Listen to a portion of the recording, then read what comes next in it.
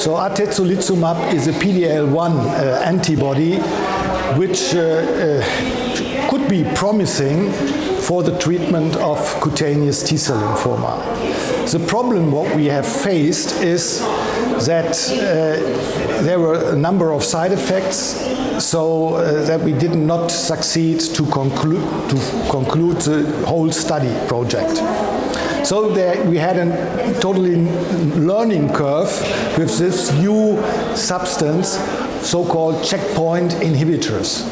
And also, also the scientific knowledge behind them is now increasing.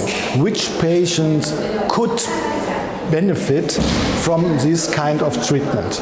And so we have a number of hints how we can proceed to develop atezolizumab and to find biomarkers which for patients who might benefit from this kind of treatment.